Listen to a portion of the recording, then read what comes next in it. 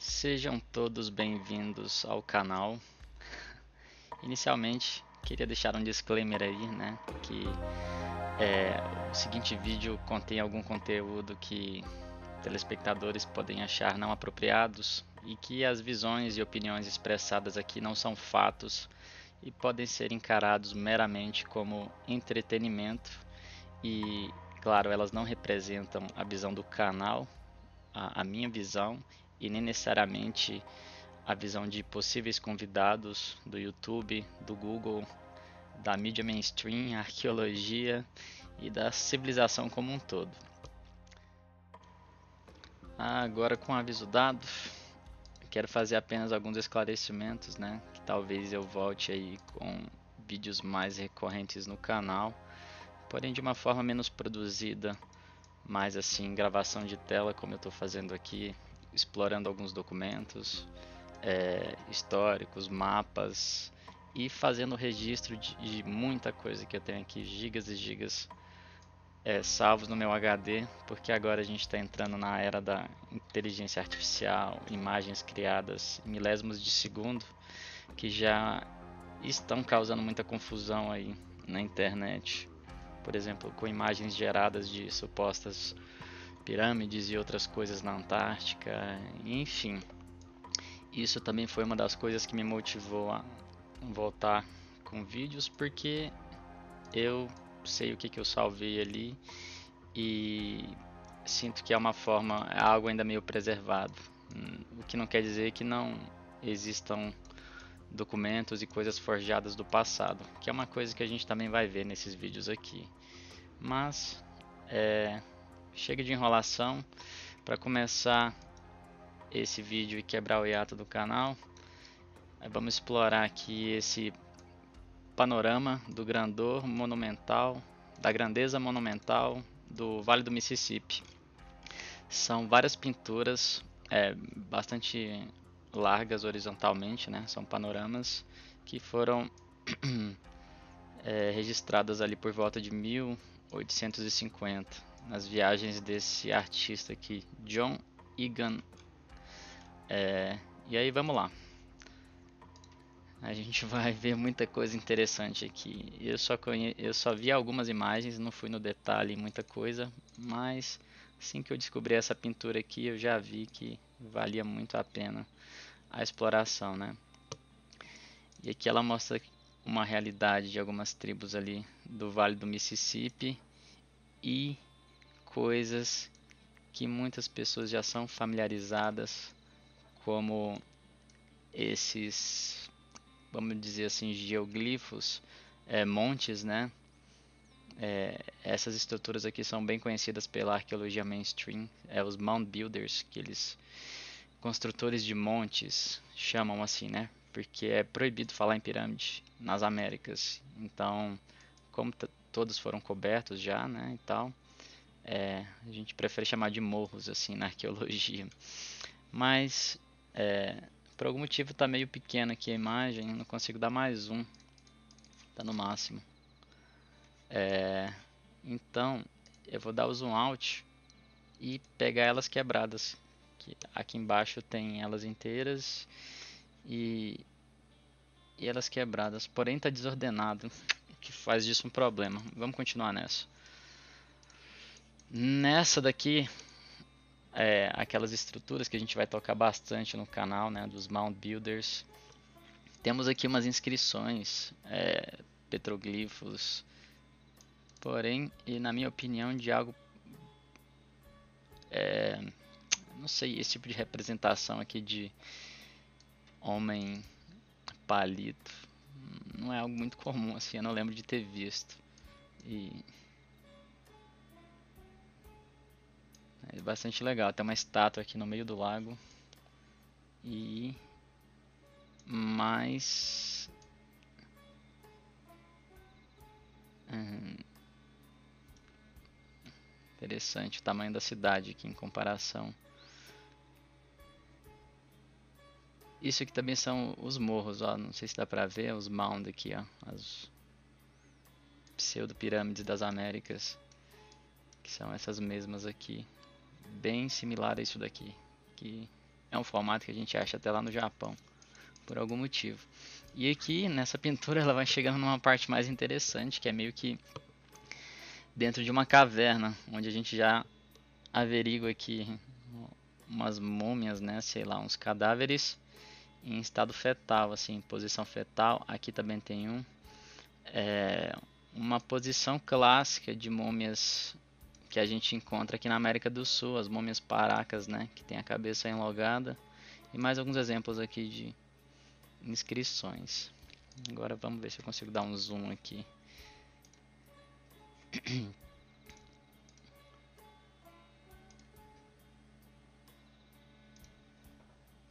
É, as pinturas são todas bagunçadas aqui na ordenação.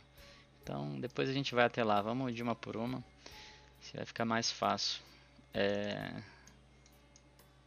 os bisões aí das Américas e olha só o que, que a gente encontra aqui.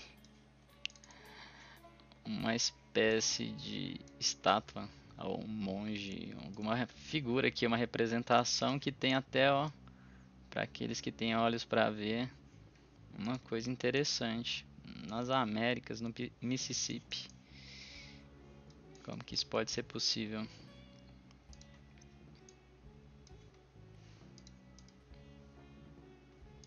Sei lá. Vamos para a próxima. Coisa de colecionador milionários, talvez, ou um resquício aí de um de um passado histórico que a gente desconhece. Tem meio que a fisionomia de sei lá, budistas. A onça lá para quem não tinha visto. Ah, legal. Outra pintura. nativos americanos, se podemos usar essa terminologia, e europeus.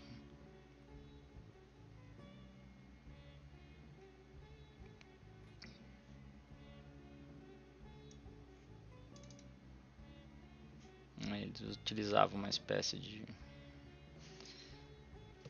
colar. Sem nada específico aqui que me chamou a atenção. É, eu entendo que nesses vídeos a gente vai se deparar com bastante símbolo em bandeiras, é, meio que aquela coisa da heráldica, né?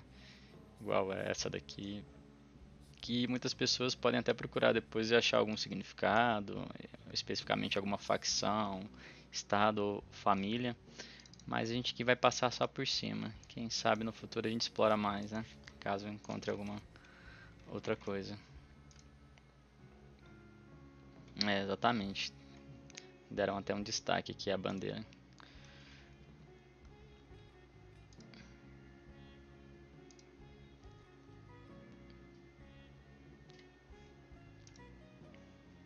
Continuação.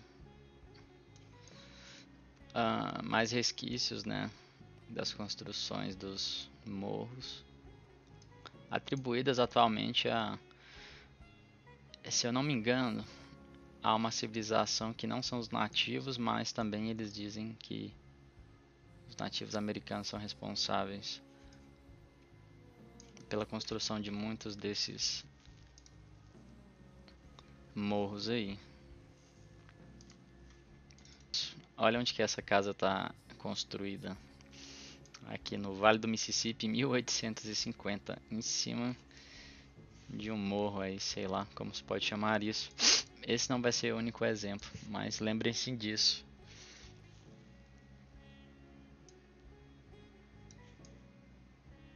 Essa daqui está meio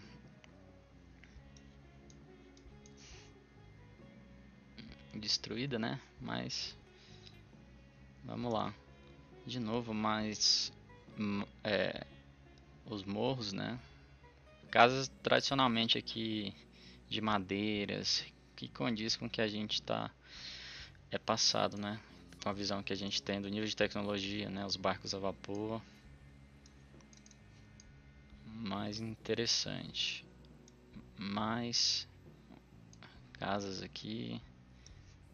E olha só o que a gente tem aqui nessa pintura. Um exemplo de escavação do que, que encontram, né? Encontraram ela.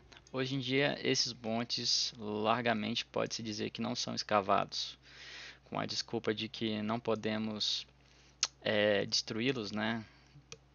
de forma sem cautela, enquanto não temos tecnologia para fazer isso de uma forma a preservar esses morros, né? Ah, muito interessante. Na própria pintura é, tem um exemplo aqui, né, deles escavando esses morros.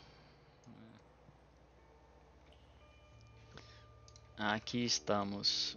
Encontrei é, essa seção com detalhes, né? Vamos dar uma debulhada nessa imagem para ver o que a gente encontra. Seria aqui uma cross section, uma visualização do que encontraram quando eles escavavam esses morros aí, né? Hum, temos aí enfileirados um, dois, três, quatro, cinco, uma série de esqueletos aí, né? Um deles aqui sentado naquela posição que a gente viu anteriormente. Só que aqui estranhamente eles não não demonstram a cabeça alongada ah, não como também se essas pinturas fossem algum exemplo é, fiel é, proporcionalmente como eram essas pessoas, né? Mas pode nos dar alguns vislumbres de como que foi a coisa.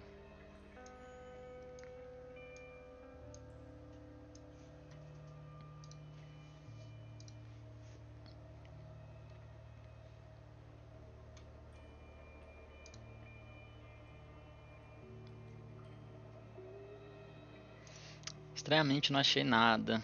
É... Realmente algum detalhe aqui que salta aos olhos, alguma pista do quebra-cabeça, vamos dizer assim. Esse aqui pode se até dizer, né?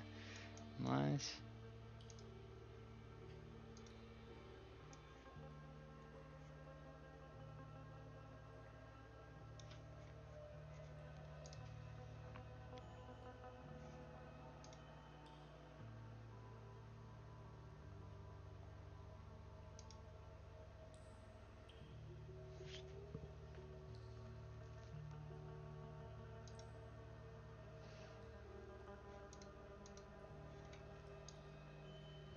Essa daqui é muito larga, eu tenho que tentar achá-la quebrada em outras, né? Hum.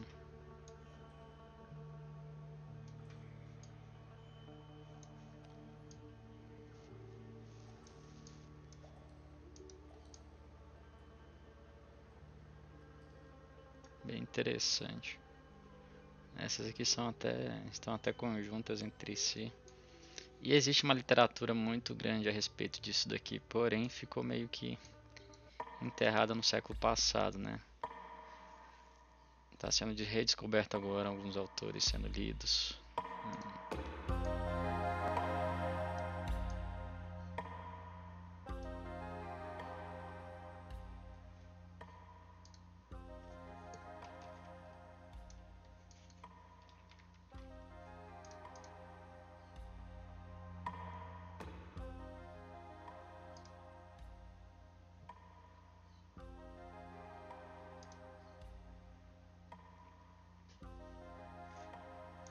Legal.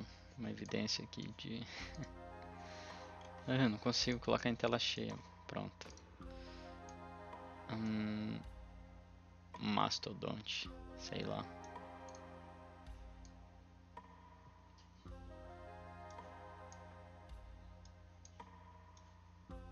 Todo um processo de escavação.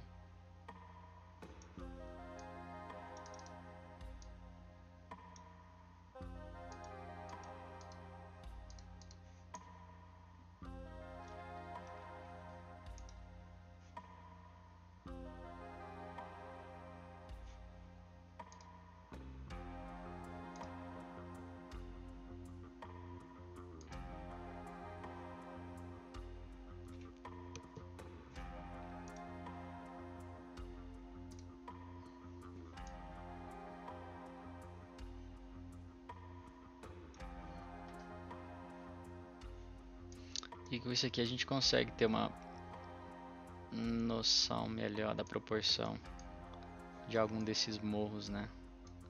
Olha só, isso aqui são árvores.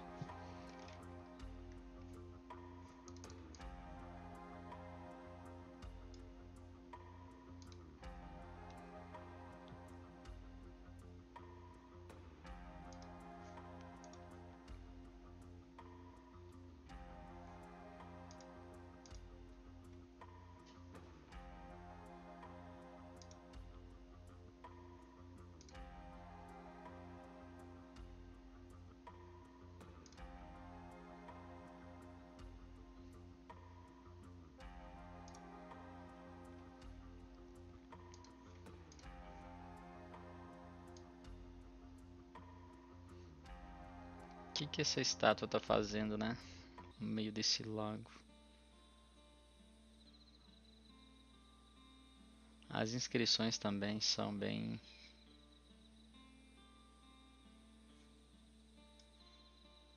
parecem bem primitivas, né?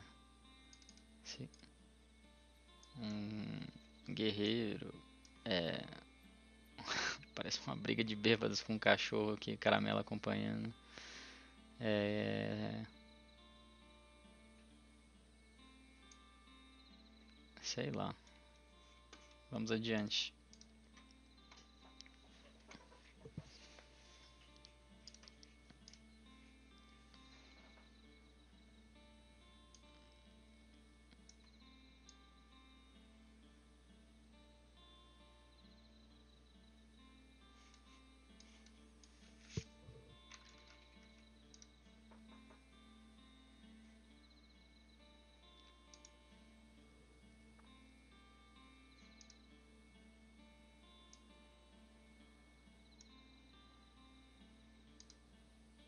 Acho que a gente está chegando no final dessa pintura.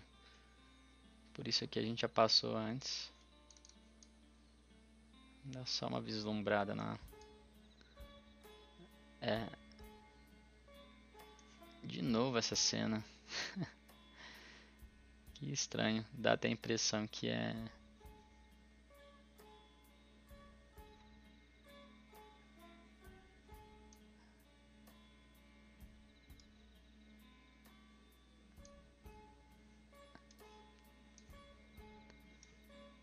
necessariamente isso nem é o que estava lá, mas assim, uma forma simbolicamente mais fácil. É, e talvez tenha sido também, porque olha que esse símbolo aqui realmente, tradicionalmente existe, né? Me parece o Ouroboros da... Eu ia dizer que esses símbolos parecem até a imaginação do, do pintor que fez isso. a cara dele. Porque por causa desse daqui, muito esquisito, um cachorro aqui correndo atrás que parece uma briga de bêbados aqui, sei lá. Mas ele repetiu aqui, estava lá no lago. E eu ia falar que parece até imaginação, mas tem aqui um símbolo aqui, Ouroboros, né? A cobra comendo o próprio rabo. É, junto com essas coisas aqui. É, que pra mim parece aqui né, uma lua crescente, minguante, sei lá. Não sei. Símbolos muito. Uma coisa no centro. Círculo. Difícil de dizer. Mas essa pintura com certeza revela alguns fragmentos do que pode ter sido essa era de descobertas, né, nos Estados Unidos, bem interessante.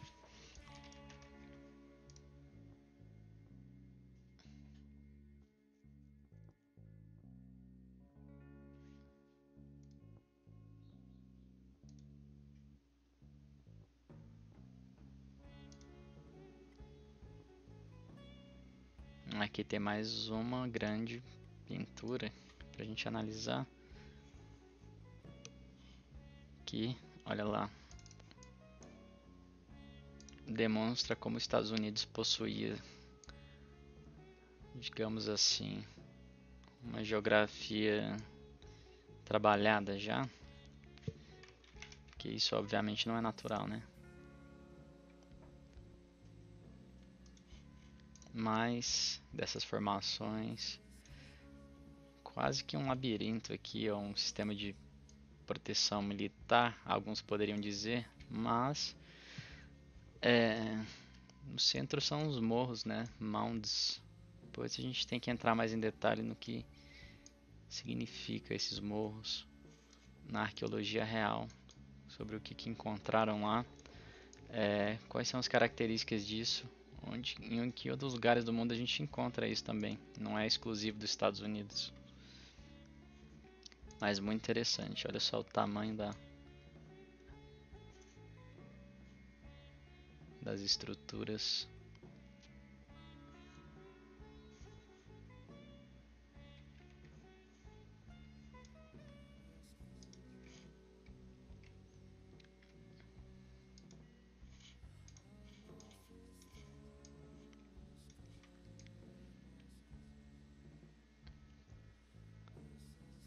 Bastante enigmático, né?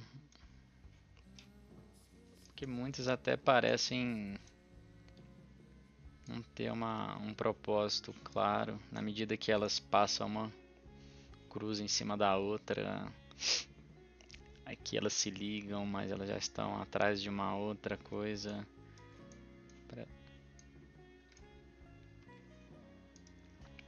E chegando na última imagem, temos aí aquela casa em cima do morro. E mais um desses morros aí com uma trilha feita ao redor dele. Esse que era o landscape dos Estados Unidos há meros 150 anos, quase 200, né? Hum, então acho que por hoje é isso daí. Esse pintor não encontrei outras coisas dele a não ser essa esses panoramas aí Fala que é um pintor americano nascido na Irlanda, mas não achei mais informações. É, vou encerrar o vídeo por aqui. Eu acho que já ficou num tempo assim interessante para quem tem a paciência é, de redescobrir isso daí. Vou colocar uma trilha sonora para facilitar o consumo. E obrigado aí por quem assistiu o vídeo até o final. Se quiser deixar um like para motivar aí o criador, né? Vamos nessa. Obrigado e até o próximo vídeo.